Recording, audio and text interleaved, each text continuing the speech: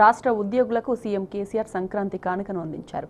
ఇకపై ప్రభుత్వంలోని అన్ని శాఖల్లో వెంటనే పదోన్నతులు ఇవ్వాలని ఆదేశించారు. పదోన్నతి పొందడానికి ఉద్యోగి కనీస సర్వీస్ను మూడేళ్ళ నుంచి రెండేళ్ళకే పరిమితం చేశారు. దీంతో దాదాపు ఇరవై ఐదు వేల మంది ఉద్యోగులకు లబ్ధి చేకూరనుంది. మరోవైపు కారుణ్య నియామకాలను వారం రోజుల్లోనే పూర్తి చేయాలని సీఎం కేసీఆర్ ఆదేశించారు.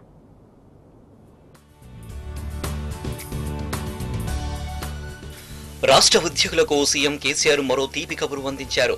పదోన్నతులకు కనీస సర్వీస్ను రెండేండ్లకు కుదిస్తూ నిర్ణయం తీసుకున్నారు.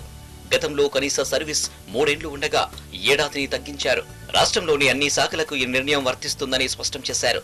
ప్రగతి భవన్లో జరిగిన సమీక్షలో సీఎం కేసీఆర్ పలు కీలక నిర్ణయాలు తీసుకున్నారు. అటు కారుణ్య నియామకాలను వారం రోజుల్లోనే పూర్తి చేయాలని అధికారులకు ఆదేశాలు జారీ చేశారు.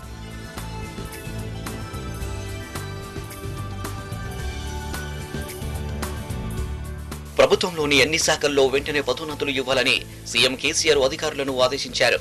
పదోన్నతులు ఇచ్చిన తర్వాతే ఆయా శాఖల్లో ఖాళీలపై స్పష్టత వస్తుందని వివరించారు. రాష్ట్రంలోని అన్ని జిల్లాల వారీగా ఉన్న ఖాళీలను వెంటనే ప్రభుత్వానికి పంపాలని ముఖ్యమంత్రి కేసీఆర్ కలెక్టర్లకు ఆదేశించారు. కారుణ్య నియామకాలను వారం రోజుల్లోనే పూర్తి చేయాలని స్పష్టం చేశారు.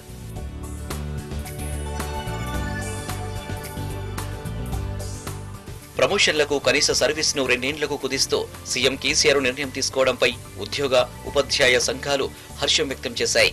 ఇచ్చిన హామీని సీఎం కేసీఆర్ నిలుపుకున్నారని ఉద్యోగ సంఘాల జేఏసీ నేతలు చెప్పారు. పదోన్నతుల కనీస సర్వీస్ను తగ్గించడంతో రాష్ట్ర వ్యాప్తంగా అన్ని శాఖల్లో కలిపి సుమారు ఇరవై ఐదు వేల మందికి ప్రయోజనం కలుగుతుందని ఉద్యోగ సంఘాలు పేర్కొన్నాయి.